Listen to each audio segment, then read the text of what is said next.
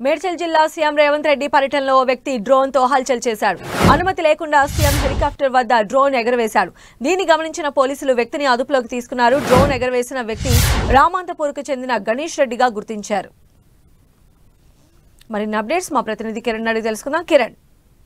మేడ్చల్ జిల్లా కాంగ్రెస్ పార్టీకి సంబంధించిన మేడ్చల్ పార్లమెంటు సంబంధించిన ఎన్నికల ప్రచార సభలో డ్రోన్ కలకలం రేపిందని చెప్పుకోవాల్సి ఉంటుంది. ఇక ఆ, ఎన్నికల సమావేశంలో భాగంగా ఇప్పటికే రాష్ట్ర వ్యాప్తంగా భారీ బహిరంగ చేస్తుంది కాంగ్రెస్ పార్టీ అందులో భాగంగా మేడ్చల్ పార్లమెంట్ జిల్లాకు సంబంధించి కూడా ఈ రోజు భారీ బహిరంగ సభలు ఏర్పాటు చేశారు. ఈ కార్యక్రమానికి సీఎం రేవంత్ రెడ్డి కూడా హాజరయ్యారు. ఆయన ఆ, బహిరంగ సభ వెళ్ళేందుకు హెలికాప్టర్ మార్గం నుంచి అక్కడ దిగిన తర్వాత నుంచి వెళ్ళే మార్గంలో కూడా ఓ వ్యక్తి గుర్తు ఒక వ్యక్తి డ్రోన్తో ఆ హెలికాప్టర్ సంబంధించిన షాట్స్తో పాటు ఆ బహిరంగ సంబంధించిన ప్రదేశాన్ని కూడా చిత్రీకరించడం జరిగింది. వెంటనే పోలీసులు ఆ డ్రోన్ ఎగరడంతో గుర్తించి కూడా ఆ డ్రోన్ ఎగరవేసిన వ్యక్తిని కూడా పోలీసులు అదుపులోకి తీసుకోవడం జరిగింది. ఆ ఎవరైనా సంబంధించి విజువల్ కోసం పార్టీ సంబంధించిన స్టాండ్లే డ్రైన్ ఎగరవేసే ప్రయత్నం చేసేందుకు గణేష్కి ఉన్న హైర్ ఇచ్చారా? లేకపోతే ఏంటో తెలిసిన ప్రస్తుతానికైతే వెంటనే రేవంత్ రెడ్డి హెలికాప్టర్ తిరిగే ప్రాంతంలో ఈ డ్రోన్ ఎగరడంతో కూడా పోలీసులు గుర్తించి వెంటనే